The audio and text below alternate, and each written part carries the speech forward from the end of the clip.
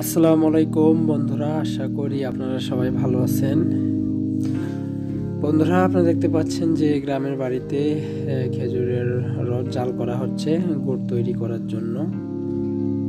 তো প্রতিদিন প্রচুর পরিমাণে রস জাল করা হয়, এই খেজুরের গুড় তৈরি করার জন্য।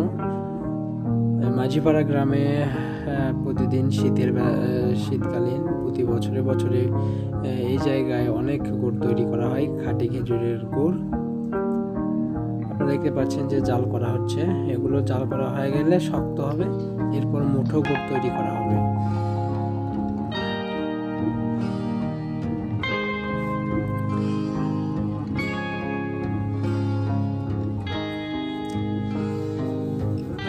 প্রতিদিন সকালবেলা করে সকালবেলা, বিকালবেলা দুই সময় রসজাল করা হয়।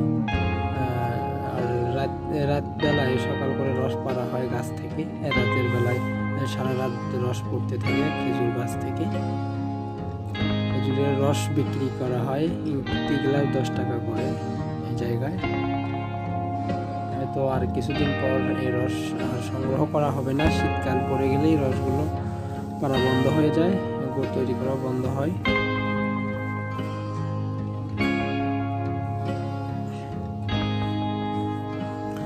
এই জায়গায় অনেক দূর দূরান্ত থেকে মানুষ রস খেতে আসে, গুড় নিতে আসে। কারণ এই জায়গায় খাঁটি খেজুরের রস বিক্রি হয় এবং খাঁটি খেজুরের গুড় ভেজাল ছাড়া গুড় বিক্রি করা হয়। এখানে কোনো ভেজাল মেশানো হয় না।